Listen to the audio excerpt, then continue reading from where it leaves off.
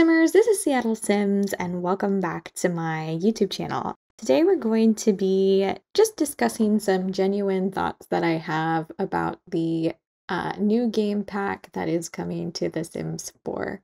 Today it was announced that The Sims is partnering with Star Wars to release the next game pack, which is Star Wars Journey to Batuu. Now, I have been watching a lot of other Sims YouTubers react and share their thoughts about what they think um, in regards to the new game pack.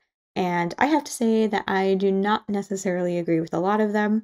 Not to rain on anybody's parade, but as a general Sims consumer and as a smaller YouTube channel, I am not necessarily excited about this game pack. Although I have seen a few of the Star Wars movies, they're definitely not my most um, favored movie out there in the world or favored uh, series out there in the world. I am definitely more of a Star Trek fan. So, like, if this had been a Star Trek pack and my Sims were able to go on the Enterprise and like go on a bunch of missions to a bunch of worlds that have yet to be discovered, I think that would be really great.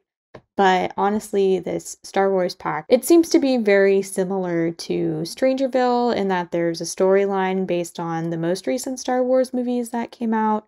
And you can create yourself as a sim and join either the Jedi or the Sith and do whatever you need to do in this um, game pack. I have a lot of respect for the larger Sims YouTube channels, but I genuinely have the question to them like, once you play through this game pack once, how often are you going to use the elements from that game pack again? Like, are you going to use the Create a Sim items? Because I don't think a lot of them use the Star Wars Create a Sim items that are already available.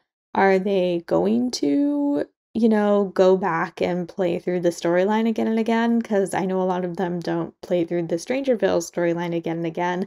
And a lot of them think that it's really annoying from what I have noticed. It's great that they're excited about it because they love Star Wars, but I mean, really, how often are they going to use these elements again?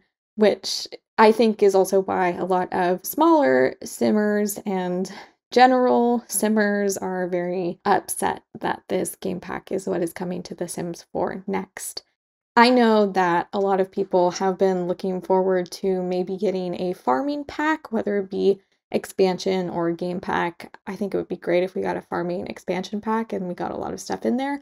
But I know that's been something that they've been looking forward to since I want to say when Seasons came out. And I know for me, when the icon leak happened, I know a lot of people started speculating Star Wars right away. I, however, when I saw the uh, game pack icon leak, I thought, well, maybe it might be Star Wars, but I'm hoping more so that it's going to be space related and maybe we get more maybe we get more stuff for our alien sims because our alien sims right now are like super boring. That being said, I think maybe the Star Wars pack might be beneficial for our alien sims and we might get more create sim items to create more diverse aliens and maybe some build items that will allow our sims to have like alien like homes, which would be great for our alien sims. But then again, I also have to ask the question how diverse are those items going to be? Because they're still going to be Star Wars themed. And I don't think I want all my Sims aliens looking like Star Wars aliens. you know what I mean? On top of that, when the game pack icon was leaked, I also thought, well, maybe this could be hinting towards another occult sim coming to The Sims 4 which would be awesome because we're missing quite a few occult sims still in The Sims 4. In particularly, I thought maybe we'd get werewolves because we haven't seen them yet, and I think having a werewolf game pack would be great in relation to vampires and also that Batman movie is coming out with Robert Pattinson. I mean, come on, bring back the Twilight days of vampires versus werewolves. And on top of that, I thought maybe it could also be fairies, and maybe we were getting a fairy world because we haven't seen fairies yet in The Sims 4, and they are also a staple supernatural occult sim to The Sims franchise. However, that did not happen, and we ended up with a Star Wars pack instead. That being said, I think that this pack will be great for people who really like Star Wars, but I do not see myself purchasing it or even using it in the future in any capacity. So, yeah, that's my two cents on that. If you agree with me, be sure to give this video a like and comment down below what you think. I'd love to hear what other people actually think of this pack. I know I have very differing opinions from a lot of other people probably, but I'd love to know like who would have wanted to have like a werewolf pack or a fairy pack or even a more expanded Sims alien pack would have been bomb, in my opinion, but I'd love to hear what other people think of that as well. And please be sure to subscribe and ring the bell. And if you want to see more content like this in the future, please be sure to support me on Patreon. Thank you all and have a great day.